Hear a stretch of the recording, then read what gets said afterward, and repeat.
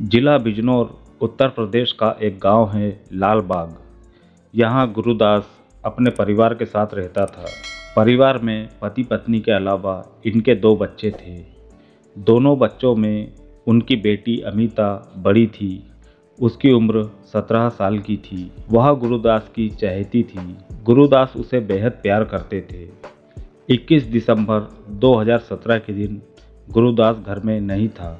सुबह 9-10 बजे के करीब अमिता ने अपनी माँ सुखविंदर कौर से कुछ देर में वापस आने का कहकर बाहर कहीं चली गई।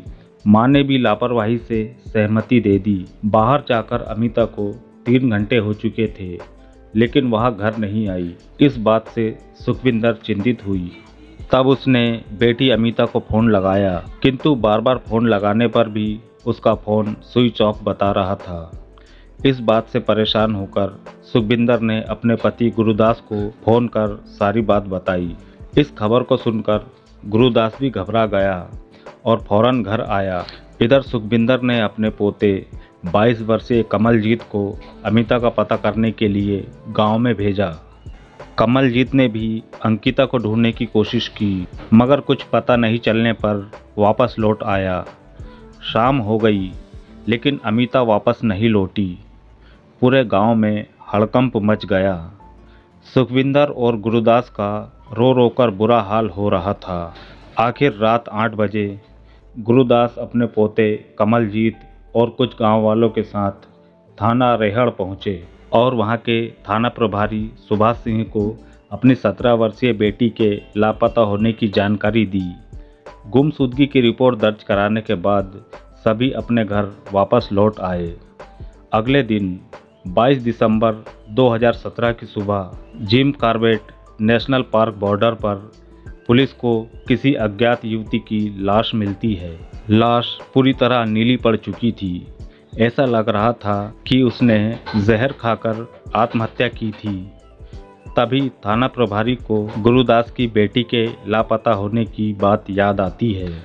तब वह गुरुदास को घटना स्थल पर बुलाते हैं। गुरुदास लाश को देखकर दहाड़े मारकर रोने लगता है। वह लाश अमिता की ही थी।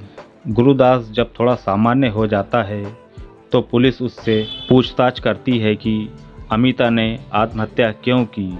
लेकिन गुरुदास खुद हैरान थे कि उनकी बेटी को कोई परेशानी नहीं थी तो फिर उसने आत्महत्या क्यों कर ली थी? अतः गुरुदास के पास पुलिस को देने के लिए कोई जवाब न था। लाश को पोस्टमार्टम के लिए भेज दिया गया। पुलिस को समझ में नहीं आ रहा था कि आखिर कैसे सच का पता लगाया जाए। कहीं से कोई सुराग नहीं मिल रहा था।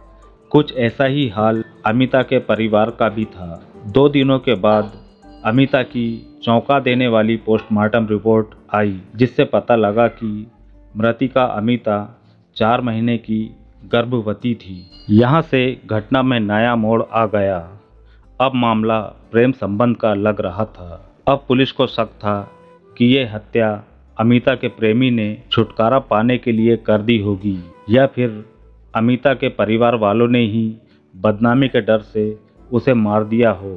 पुलिस ने जब गुरुदास को अमिता के प्रेग्नेंट होने के बारे में बताया तो उसके पैरों तले से ज़मीन खिसक गई। उसे इस बात पर भरोसा ही नहीं हो रहा था। पुलिस ने उससे पूछा कि क्या अमिता से किसी का संबंध था? गुरुदास ने बताया कि इस बारे में उसे कुछ पता नहीं है। चार दिन बीत चुके थे, लेकिन अमिता की हत्या की गुत्थी सुलझ नहीं पा रही थी। पुलिस ने अपने मुखबिर लगा दिए। एक दिन एक मुखबिर ने पुलिस को सूचना दी कि घटना वाले दिन सुबह के वक्त अमिता को अपने भतीजे कमलजीत के साथ जिम कार्बेट नेशनल पार्क की तरफ़ जाते देखा गया था।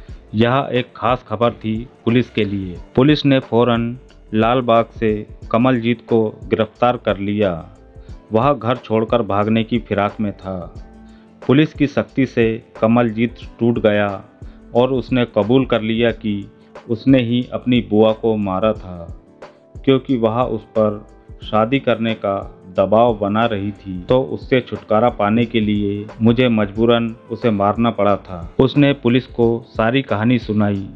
अमिता कमलजीत की सगी बुआ थी। अमिता सत्रह साल की थी और कमलजीत 22 साल का। एक ही परिवार होने की वजह से वे एक ही छत के नीचे रहते थे। एक दिन बरामदे के दरवाजे को भेड़कर अमिता नहाने गई। उसने अंदर से सिटकनी नहीं लगाई थी। उसी समय कमलजीत किसी काम से वहाँ आया और अपनी धुन में दरवाज़ा खोलकर धड़धड़ाता हुआ आँगन में दाखिल हुआ। अमिता उसे देखकर हड़बड़ा गई और गीले कपड़ों से अपने आप को ढकने लगी। अमिता को इस हालत में देखकर उसके मन में पाप आ गया। अब वह अमिता के जिस्म को पाना चाहता था। वासना में अंधे कमलजीत को इस बात का भी एहसास न था कि अमिता उसकी बुआ है। अब उसने अमिता पर डोरे डालना शुरू कर दिया था। कमलजीत केवल अमिता का जिस्म पाना चाहता था। इसके लिए उसने झूठे प्यार का नाटक शुरू कर दिया था। धीरे धीरे उसने अमिता के दिल में जगह बना ली थी। अमिता भी जवान थी।